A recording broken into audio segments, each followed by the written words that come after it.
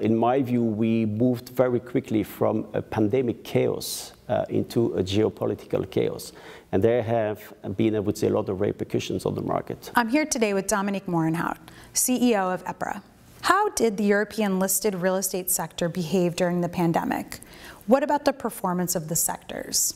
I think we can say that the sector has been roughly very resilient uh, across the whole pandemic uh, period. Uh, the recovery has been five times quicker than following the global financial crisis in 2008, uh, and the sector was already back uh, to its pre-pandemic level in uh, August 2021, so roughly 18 months after the start of, of the crisis. And this is mainly due to the fact that our sector did draw some good lessons from the GFC, uh, did restructure entirely uh, the debt uh, in the companies, and that was really helpful. The global financial crisis was mainly a solvency crisis, but the pandemic was more a liquidity crisis.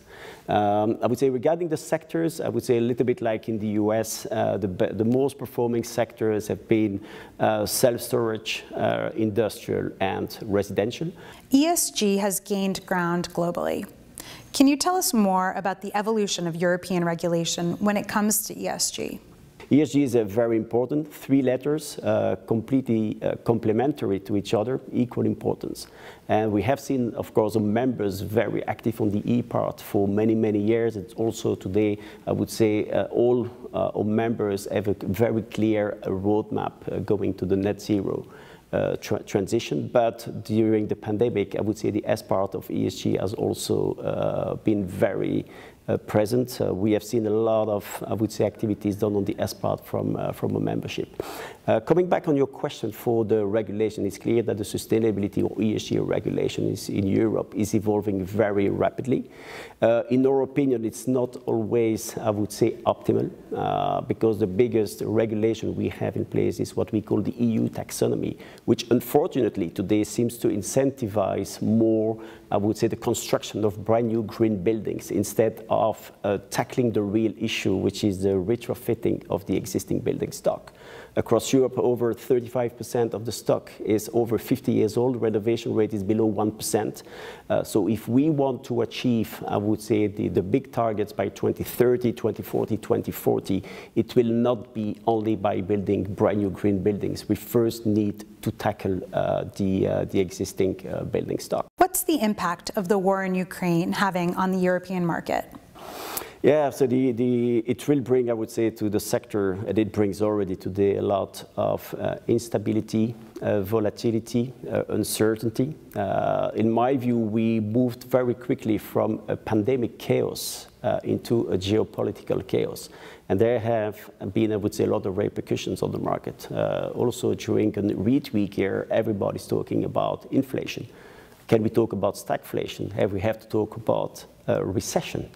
Uh, we see also the war in Ukraine on our sector for members active also in the construction uh, industry or making brand new developments. Construction costs have increased by over 25 percent since the beginning of uh, the, the, war uh, in Ukraine. There is also a big impact on the commodity price, on energy prices everywhere. So, so it's, it's a very complicated uh, market for, uh, for, for the time being. But I would say on the other side, our sector is ready for that. As I said earlier, the, the companies have completely restructured their debt, so they are I would say, very well prepared uh, to cope with also rising interest rates. So that's the first thing. Secondly, ESG is also seen as an opportunity to cope with uh, the, the, crisis, but also more importantly, to uh, NAREIT, but EPRA as well, have also conducted a lot of research papers over the last years, really confirming that even during an inflationary environment, our sector is very well prepared because the, the, the, the company's turnover, company's profit and shareholders' returns is always highly correlated to the inflation. How do you assess investors' appetite for listed real estate? The, the appetite is there. Um, I would just say that for the time being, especially uh, across Europe, with the, this all uncertainty created by the war, uh, investors, I can't say they are bearish, they are more, I would say, cautious. Uh, in their in their investment. So so they want to take a little bit of time to see okay how the situation will evolve uh, in the coming month. What we have seen over the last two years, 2020, 2021, we saw substantial amount uh, coming into the global listed real estate sector. Uh, a lot of money coming from uh, Asia. Uh, this year we start seeing more and more money coming from the from the Middle East, which is also quite quite promising because those players traditionally invested mainly in the unlisted real estate sector compared to listed. So I would say um, I would say a cautious environment, but very good perspectives going forward. And that's, in my opinion, that's also one of the reasons it's very important that NAREIT at and EPRA continue to do like we used to do before the pandemic to bring the global messaging to investors everywhere in the world. So that's why I would say very happy that we are now, I would say, back in person uh, for real conference to meet with real investors. And I think uh, and EPRA will continue to do a lot of efforts for the global listed real estate sector.